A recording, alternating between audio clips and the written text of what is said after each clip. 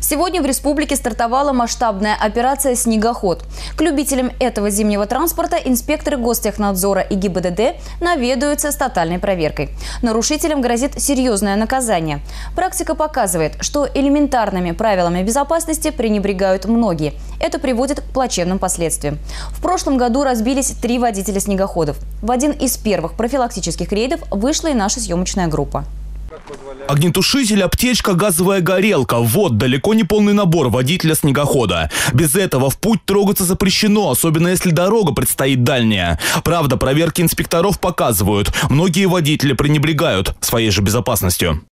Ладно, вот эта марка, да, а других марок вот даже места нет, куда класть вот эту аптечку и огнетушитель. Но они разные бывают, кстати. Я знаю, огнетушители да, бывают маленькие, вот аэрозольного типа. Угу.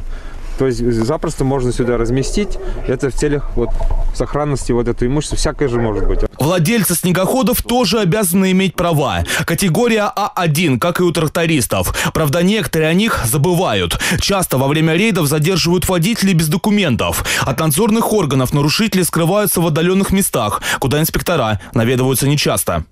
Одно дело, если человек приходит, Э, к нашу инспекцию для регистрации. Это уже мы считаем это законопослушный человек. Uh-huh. Он уже дальше хочет эксплуатировать согласно всех правил и норм эксплуатации. Естественно, при регистрации мы э, осматриваем это транспортное средство, проверяем наличие допуска. Владельцев снегоходов в республике становится все больше. На учете уже более 400 водителей. Пять лет назад их было всего 50. Недавно любители активного отдыха образовали собственную ассоциацию. Ее члены настоящие настоящие фанаты своего увлечения. Безопасность всегда ставят на первый план. У нас в ассоциации принцип э, все делать в целях безопасности э, наших клиентов, наших пассажиров.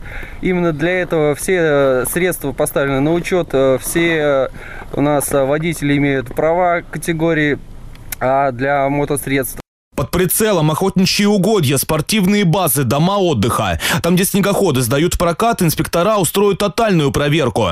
Нарушителей будут привлекать к административной ответственности полная экипировка, удостоверение, свидетельство о регистрации. Без таких документов водитель снегохода будет считаться нарушителем. Во время рейдов инспектора будут подходить жестко и отправлять машины на штрафстоянку.